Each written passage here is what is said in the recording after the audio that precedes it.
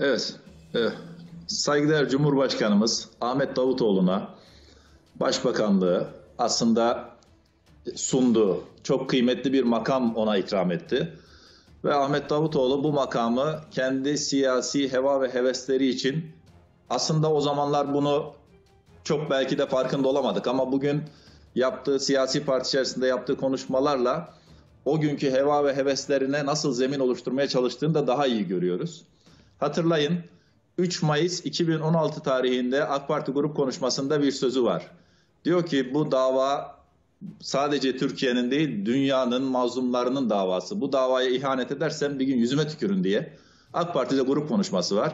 Aslında bugün o konuşmasını hatırlatıp bunun gereğini yapmak lazım. Özellikle de danışmanının anlattığı Türkiye Cumhuriyeti'nin başbakanı iken e, bir seçimde e, alınan eksik oydan medet umarak yani hangi siyasi oluşumlarla ya da hangi yurt dışı mihraklarla bu hesabın içerisinde oldu da e, bundan memnun oldu, bu yüzünde tebessüme sebep oldu.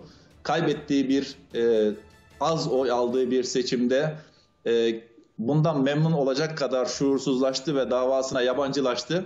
Bunu bilemiyoruz. Hı hı. Hangi hesabı, hangi menfaati gözetti, bunu gerçekleştirdi bunu bilemiyoruz ama yaptığı bir ihanet bizim milletimiz şöyledir. Bizim milletimiz ihanet edeni, davasına ihanet edeni, yediği ekmeğe ihanet edeni, yuvasına ihanet edeni affetmez. O yüzden bu siyasetinin yaptığı bu siyasetin bir geleceği olmayacak. Bunu biz de biliyoruz, vatandaşımız da biliyor. Böyle bir siyasi kaygıyla da bunu söylemiyorum. Sadece şunun için bunu söylüyorum. Bu büyük davada başbakanlık yapmış birinin böyle bir siyasi heves içerisinde olması ve kurduğu siyasi partiyle de AK Parti'nin zayıflamasından medet umarak siyaset devşirmesini e, midemi bulandırıyor bu. Bundan hiç hoşlanmıyorum. Yani feraset sahibi her Türk vatandaşı da bundan hoşlanmayacaktır.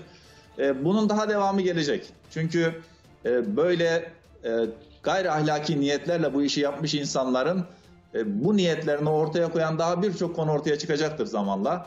Ve belki de artık e, bu siyasi oluşumun içerisinde bu siyaseti daha fazla sürdüremeyecek konuma gelecektir. Böyle olmasını dilemeyiz ama böyle olanlara da bu millet cevabını vermeli ve bu yaptıkları e, ihanetin karşılığını mutlaka görmeliler. Peki Ankara'da neler konuşuluyor buna ilişkin ve bir yandan da e, yorumunu merak ediyoruz. Sayın İsmet Özçelik. İsmet Bey ne dersiniz? Ankara'da hem bu konuya ilişkin neler konuşuluyor?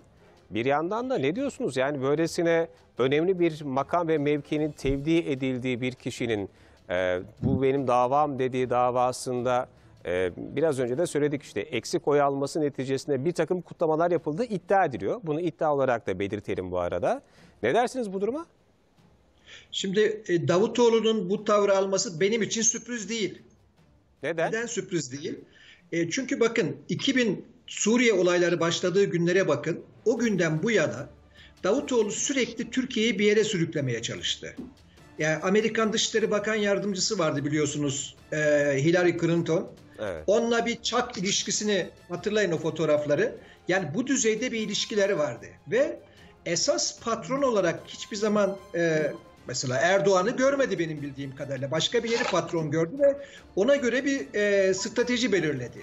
Ve e, bu noktaya kadar gelindi. Şimdi e, Davutoğlu'nun parti kurarken onun herhangi büyük bir yer oy almayacağını e, hemen hemen herkes biliyordu. Yani bütün Ankara'daki gazeteciler, kamuoyu yoklaması yapan e, şirketler falan bunun çok fazla bir oy alacağını düşünmüyorlardı. Neden kuruldu ama, o zaman parti? Ama önemli bir e, işlevi vardı. Parça koparmak gerekiyordu. Yani Amerika'nın bir stratejisi var AK Parti ile ilgili. Bu çerçevede görev verdiği insanlar var. Bunlardan birisi de oydu. Yani e, AK Parti'den parça koparmak gerekiyordu. Bu yeni sistemde yüzde 50 artı bir e, geçerli olduğu için e, bunun yüzde 49'a düşürülmesi gerekiyordu.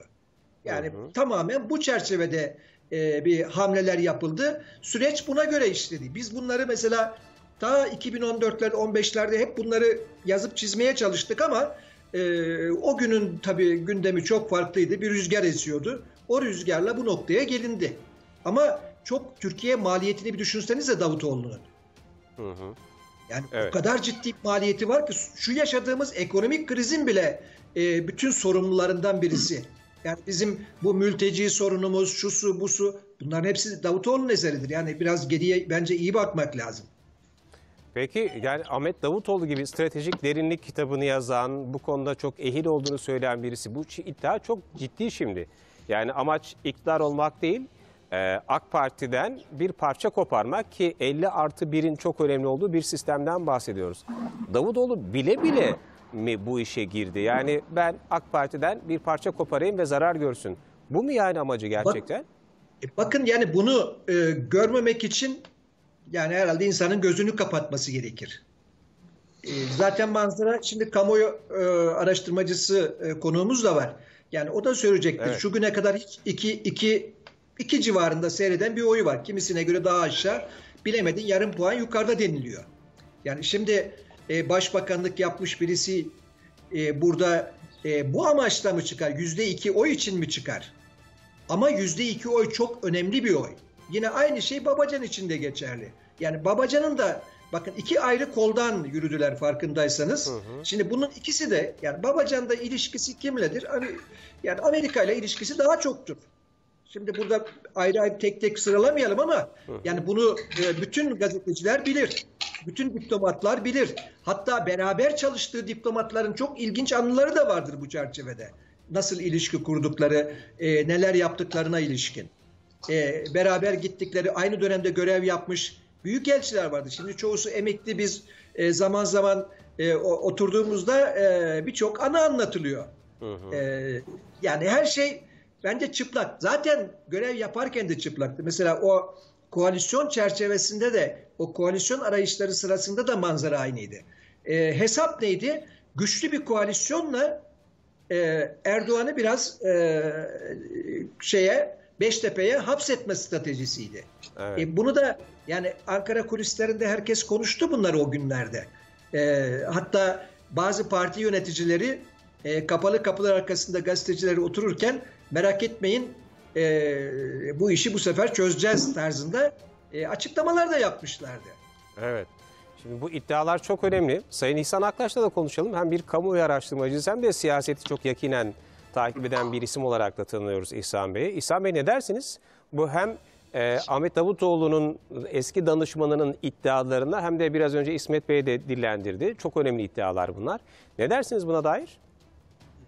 Şimdi bu Gelecek Partisi ve Deva Partisi ile ilgili değerlendirmeler konusunda ben biraz sürüden ayrılmayı tercih ediyorum. Şimdi nihayetinde bu partiler kendilerini kamuoyuna sundular ve e, kamuoyundan da karşılık bulmadılar. Yani ne Ahmet Davutoğlu'nun ne Ali Babacan'ın e, kamuoyundan beklediklerinin yani %10'u bile karşılık alamadılar.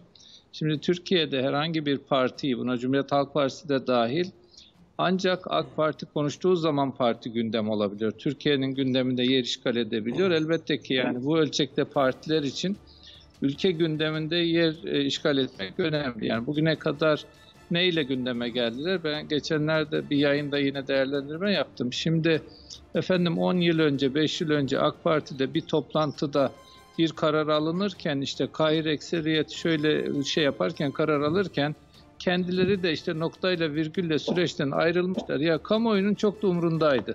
Sizin o toplantıda ne söylediğiniz, ne karar aldığınız nihayetinde şimdi manzarayı şöyle tarif etmek lazım. Türkiye'de e, çevre hareketi olarak yani 200 yıllık İslamcılık, muhafazkarlık, Anadolu insanı bir merkeze karşı çevre hareketi olarak Tayyip Erdoğan bir liderlik yaptı.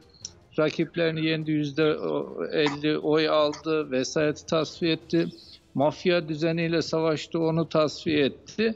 Bu başarılı liderin arkasında da bazı insanlar bazı görevleri derühta ettiler ve bu sahnede başarılı gözüktüler. Nihayetinde liderlik çok fonksiyonlu, çok önemli yetkinlikler isteyen bir şeydir ve kamuoyunun önüne kendilerini koyduklarında da Tayyip Erdoğan'ın gölgesinde kamuoyunun önünde bulunmakla tek başına bulunmaktaki şeyi de vatandaş tefrik etti. Bence yani yüzde kırka şeyle beraber Milliyetçi Hareket Partisi ile beraber yüzde elliye hitap eden bir partinin bu küçük partileri konuşması, değerlendirmeye tabi tutması sadece onların iletişimlerini yapmak anlamına gelir. Bence vatandaş onların kıymetini belirledi, çerçevelerini çizdi. Bu çerçeveyi yukarıya çekmeye çabalamamak lazım. Ben çok böyle hani entelektüel anlamda çok çabam var ama çok iddialı konuşmayı seven birisi değilim. Sadece Binali Bey başbakan olduğu zaman uluslararası ilişkilerle alakalı bir çerçeve iddiasında bulunmuştum. Dedim ki Recep Tayyip Erdoğan 15 yıldır bu ülkeyi yönetiyor ve iç politikada büyük hata yapmadı. Eğer büyük hata yapmış olsaydı hala bugün o %45-50 civarında olmazdı. Dikkat edin bugünden sonra dış politikada da Türkiye hata yapmayacak. Çünkü dış politikayı da doğrudan Dışişleri Bakanı ile beraber Sayın Cumhurbaşkanı yönetecek. Zaten ondan sonra Suriye'ye bakın aslında Binali Bey başbakan olduğu zaman biz Suriye'de yenilgiye uğramıştık. Arkamızdan 3 tane terör örgütü gelmişti. Evet. O günden bugüne dış politika grafiğinin nasıl değiştiğine bakın. Kimlerin başarılı, kimlerin başarısız, kimlerin böyle yersiz hamaset, kimlerin re- re- reel politik yaptığını da görmüş oluruz. Evet. Ve öyle zannediyorum e, o gün ortaya koyduğum iddiayı bugün de aynı şekilde tekrarlayabilirim. E, dikkat edin o günden sonra Türkiye'nin dış politikası bölgesinde ve dünyada parlayan bir yıldız gibi ve her karşılaştığımız problemde başarılı olduk. Ufak tefek bazı kırgınlıkları geride bırakmakla beraber. Dolayısıyla ben şöyle düşünüyorum. E, Bu partileri yani kamuoyundan e, destek almamış ve kamuoyunda haberdar olmadığı partileri AK Parti gibi yüzde elli oyu olan Türkiye kamuoyunun yarısına hitap eden bir partinin konuşmaması gerektiğine dair bir kanaatim var. E, vatandaşlar kendilerini hallerine bırakalım. E, konuşmak itibar kazandırmaktır diye düşünüyorum. Eyvallah.